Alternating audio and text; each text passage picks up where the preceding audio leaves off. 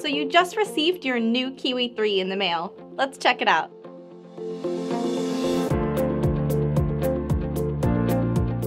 First, let's start by understanding what the icons mean on your Kiwi 3. The power icon will be solid when the Kiwi 3 is properly connected to your OBD port. The Bluetooth icon will flash, indicating it's searching for your smartphone. It will turn solid once a Bluetooth connection is established. Next, the app icon will flash, indicating data is being sent to your favorite app. And lastly, the OBD icon will flash, indicating data is being received from your engine. Now you're ready to get started.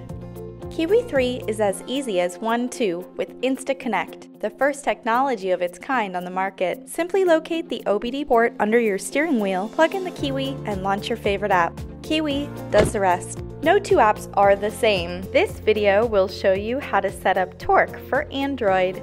Make sure your Bluetooth is on.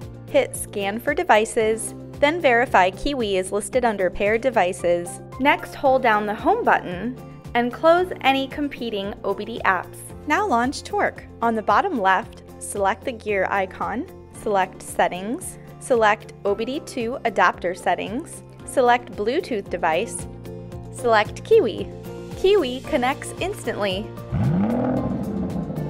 Okay, so you should be all set and ready to test drive your Kiwi 3. If you still need help, go to plxdevices.com or contact our support team. We really hope this video helped answer all your questions. It's important to us that you love your new Kiwi 3.